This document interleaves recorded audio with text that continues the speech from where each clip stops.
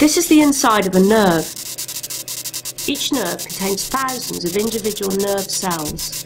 These consist of a cell body and a long string-like structure called an axon. The cell body is in or very close to the spinal cord, and the axon runs within the nerve to supply the target tissue. Each axon is protected by a myelin sheath made by a series of Schwann cells. Here, the axons are green and the Schwann cells pink. To the left is the spinal cord, and to the right is the nerve's target tissue, let's say the end of the finger. When your finger touches something, you can feel it because electrical signals are sent down the axon to the spinal cord and brain.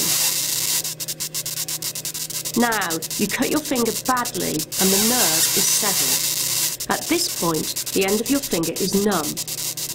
The portions of the axons that are connected to the end of the finger have lost their connection with their cell body in the spinal cord and can't survive. This part of the axon will die along with its myelin sheath. The dead remains are broken down and cleared away by immune cells, but part of the nerve structure known as connective tissues and the Schwann cells still remain. The injured axons can grow back. As part of this process, the end of each axon sprouts into a number of branches. Some of these sprouts may find their way across the injury site into special channels in the remaining stump, formed by Schwann cells and the connective tissue.